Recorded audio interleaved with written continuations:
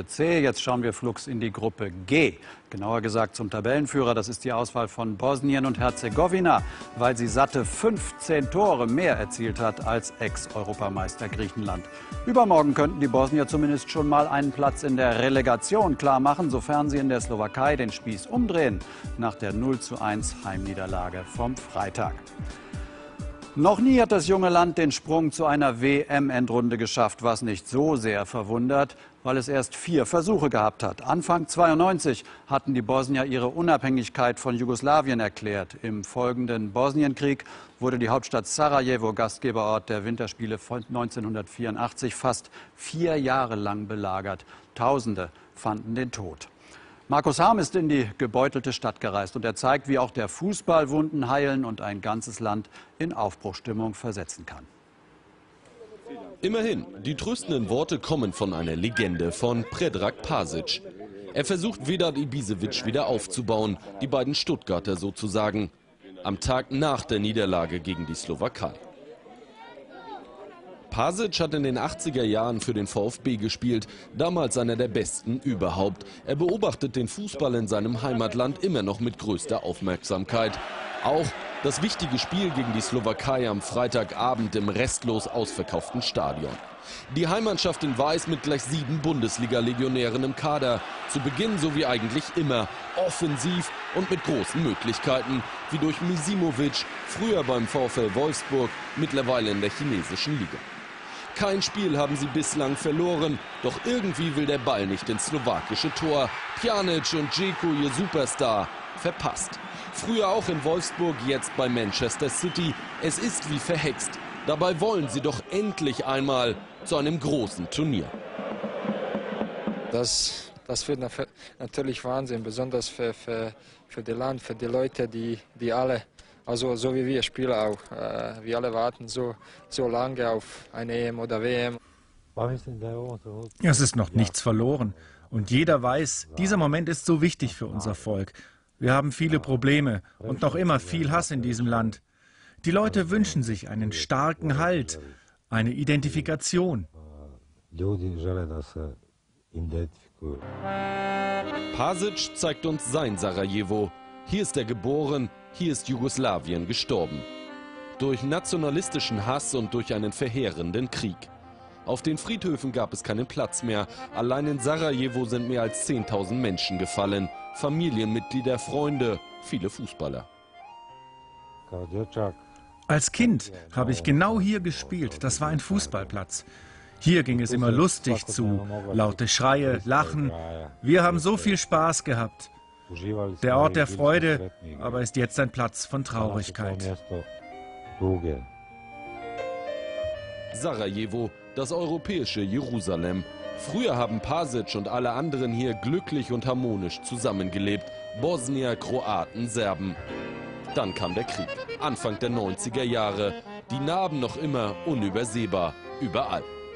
Dreieinhalb Jahre Sarajevo eingeschlossen, keiner konnte raus.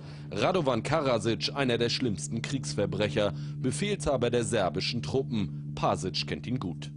Karadzic war bei meinem Verein FK Sarajevo Sportpsychologe. In seinen Sitzungen hat er immer von Gemeinschaft, von Teamgeist, von Zusammenhalt gesprochen. Dann kam der Krieg und er hat sich komplett gewandelt, nur Angst und Hass gesät. Ich kann mir das nicht erklären. Ich werde wohl sterben, bevor ich eine Antwort darauf finde, warum menschlicher Hass so überhand nehmen und wichtig sein kann für jemanden. Predrag Pasic hat sich dem widersetzt. Auf seine Art. Während des Krieges in Sarajevo eine Fußballschule gegründet. Für alle Kinder, egal welcher Abstammung, in der ehemaligen Olympischen Sporthalle. Draußen haben sie gekämpft, sich gegenseitig umgebracht. Drinnen hat Pasic die Kinder Fußball spielen lassen. Diese Halle war ein Ort, in dem Kinder träumen konnten. Wir haben immer trainiert zusammen. Es tobte der Krieg, viele der Kinder verloren ihre Väter, aber sie hatten einen Traum, den vom Fußballprofi, und sie konnten das andere ein wenig vergessen.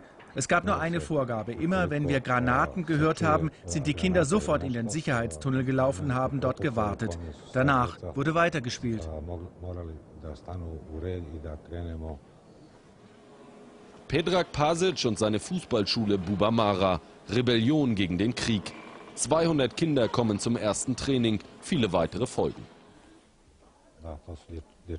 Die Kinder von damals sind jetzt 25, 26, die Generation des Nationalteams. Zwei von unseren Jungs sind sogar dabei. Es konnten nicht alle Fußballer werden, aber es sind alle positive Menschen geworden, die die Dinge ohne Vorurteile sehen, ohne darüber nachzudenken, was Rasse, Hautfarbe oder Nationalität ist. Ich bin sehr stolz. Auch deswegen schätzen und mögen sie ihn hier, ihren Pajo, wie er genannt wird. Auch Nationaltrainer Susic. Er ist ein einzigartiger Mensch. Er hat so viel für den Fußball in diesem Land getan. Ein Vorbild, einer, der für die gute Sache kämpft. Das ist eine große Legende in unserem Land und äh, ich habe schon ein oder andere Video gesehen und, und äh, viele, viele gute Sachen über ihn gehört. Pasic und alle anderen erleben jetzt die größte Euphorie, die das Land jemals gesehen hat. WM-Fieber, stundenlang stehen sie an, wollen alle die Tickets für das Slowakei-Spiel. Alle in den Nationalfarben. Es herrscht Einigkeit im wahrsten Sinne. Sie glauben an sich und an ihr Team, auch wenn es dann nicht so läuft. Die Weißen zerreißen sich, doch selbst die guten Freistöße vom Hoffenheimer Saliovic bleiben wirkungslos. Pjanic.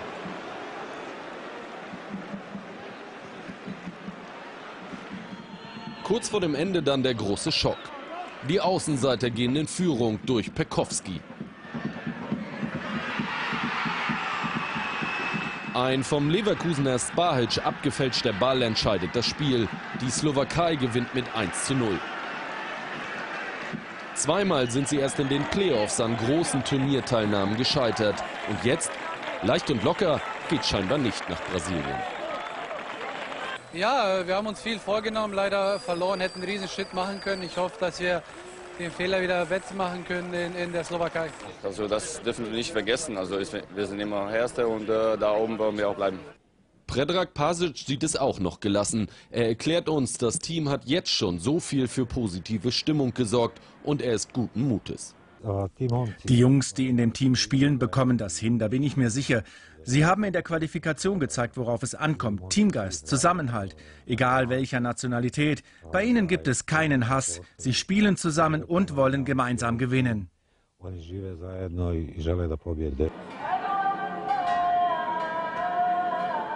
Genau so wie heute Mittag um eins in Sarajevo.